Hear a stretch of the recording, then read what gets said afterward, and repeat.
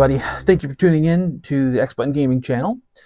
Uh, so today, something I want to talk about has to go hand in hand with the most recent episode of the podcast that I did with my friend Tyler. And that's where we uh, we talked about trophy hunting.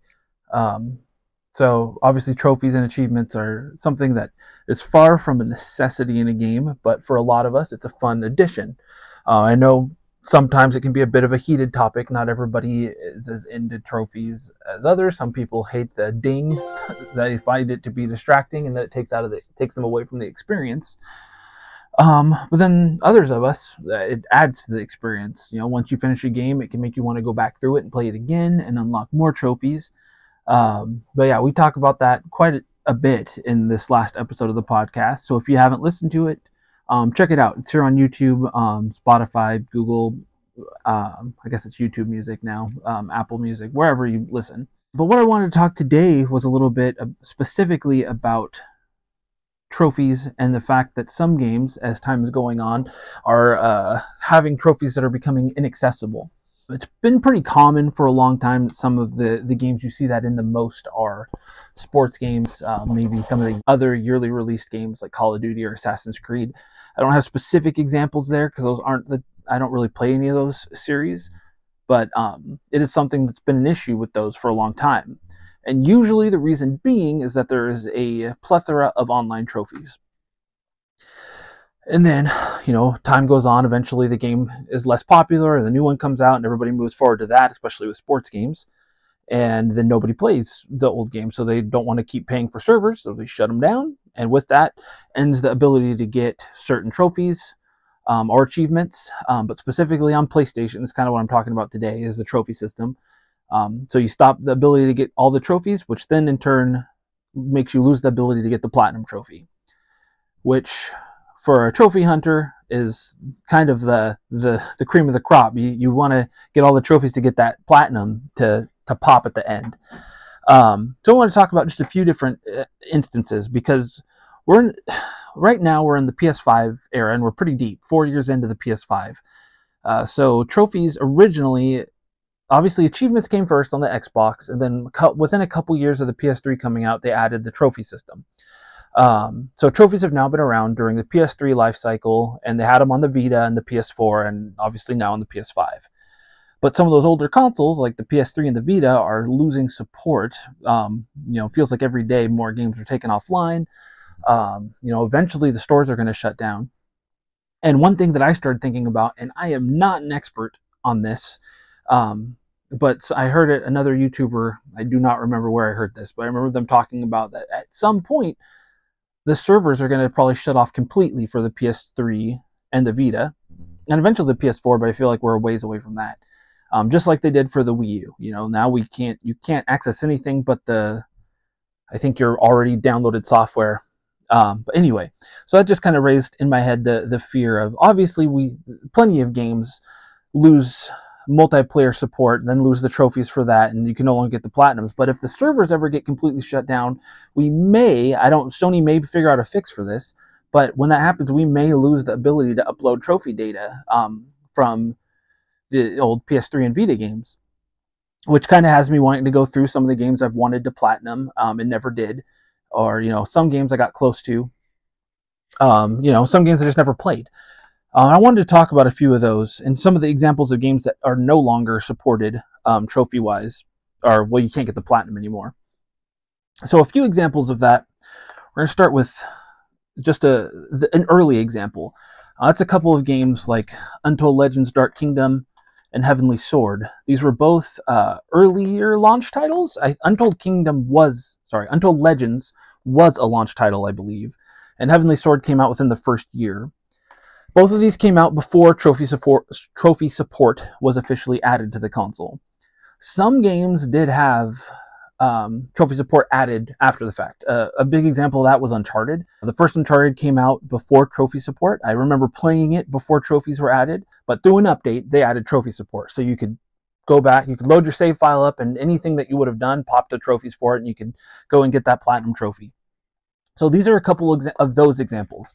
This is the most uncommon, I would say, because after the first couple years, Sony made, you know, they added the trophies so people could add them with their games. And then somewhere around year two, they made it mandatory that any any game had a trophy list, um, and that I think games that got physical releases had to have a platinum. I don't know. Once again, I'm not positive. I, that sounds familiar in my head, but so yeah, it's unfortunate. Um, obviously, there's some of these games are still fun, uh, especially if you haven't played Heavenly Sword. Heavenly Sword is fantastic. It was like kind of in that God of War style hack and slash, but really good game. Uh, was way ahead of itself for the time.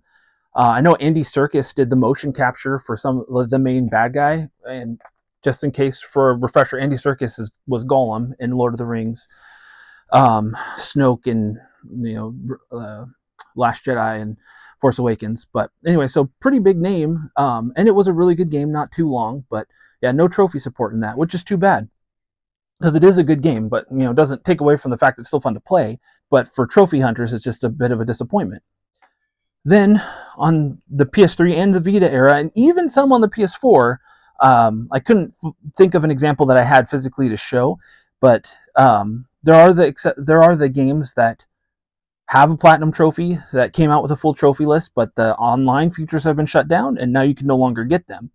Uh, a good example of that would be Twisted Metal. We just talked about this on the uh, last episode of the podcast um, the online servers are off, so you can't go back and get the platinum trophy. You can get every other trophy that has nothing to do with online, which is disappointing because you know, as a Twisted Metal fan, this is the last Twisted Metal game we got. So those of us who like to hunt trophies, so I guess what I like, I like to get trophies for any game that I can, but like for series that I really like, um, so like the Uncharted games, I've gone through and gotten platinum trophies on all, at least all the PS4 ones. Um, you know, when I play a Dragon Ball Z game, I like to try to get the trophies on that. Star Wars related stuff because I'm a huge Star Wars nerd. Um, so yeah, like for those of us that we really like a series, we want to get all the trophies in it. It sucks if we didn't do that before. But it is, I mean, I guess for those that have the platinum trophy, it's even more elusive now, and you can say, "Yeah, I got the platinum trophy for Twisted Metal before the server shut down."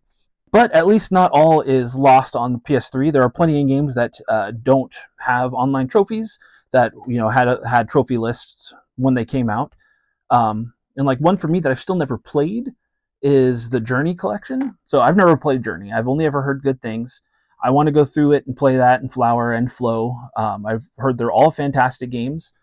Um, but yeah, you can still get the platinum trophy, and then on other games too, like Final Fantasy 13 or 3D Dot Game Heroes, they still have their trophies un- unaffected because they didn't have any online trophies.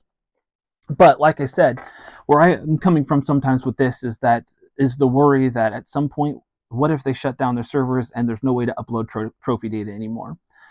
I'm still a physical collector because I want to be able to play the games even you know once the apocalypse happens or whatever, and we can't. You know, for some reason, we still have electricity and can play games, but can't go online. Um, in this weird, this fictional apocalypse I just created, um, but we still have you know, we can still play the games, but you know, you just maybe you can even you can still pop trophies, I assume, but you just can't upload them to an actual server anymore. Um, and the Vita has the same issue. So you have games like uh, Tales of Heart and Putty Squad, which I just recently finished and got the platinum trophy for, that are unaffected because there's no online trophies on those games. Nothing to nothing to hinder your trophy run.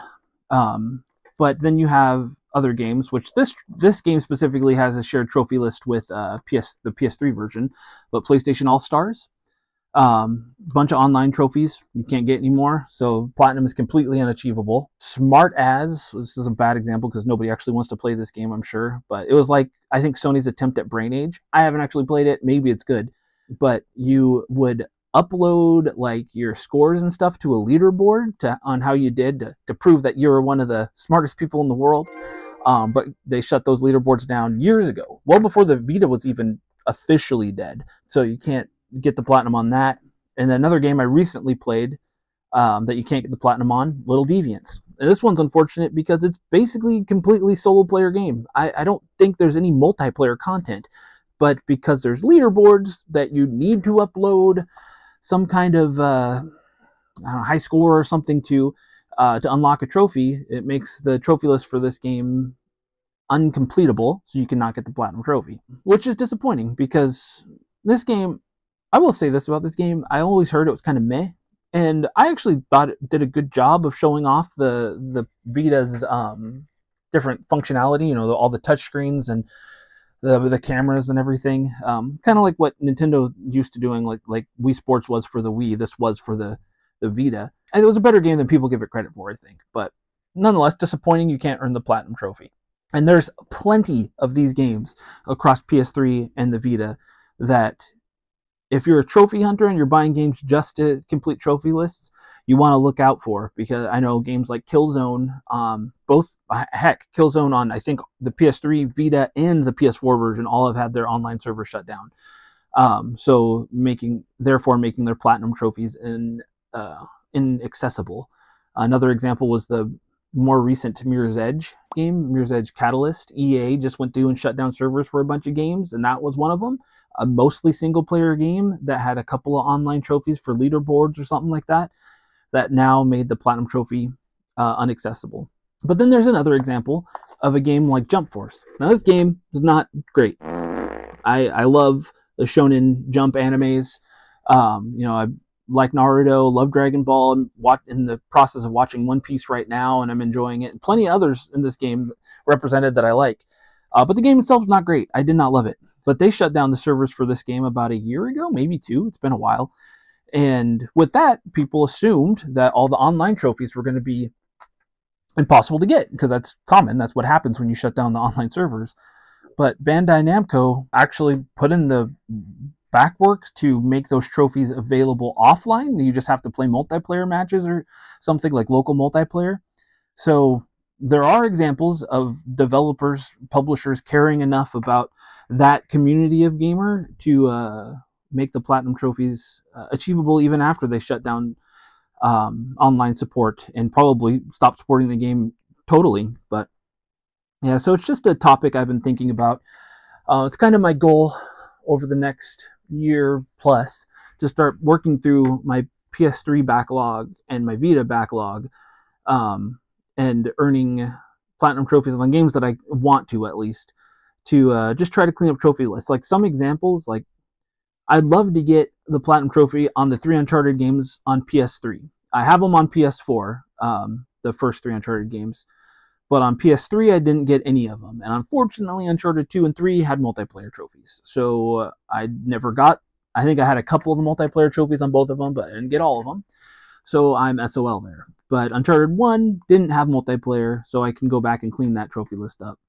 Um, other games, popular games from the PS3 era, like The Last of Us, had online trophies, unfortunately. So if you didn't get those, you can't get the platinum.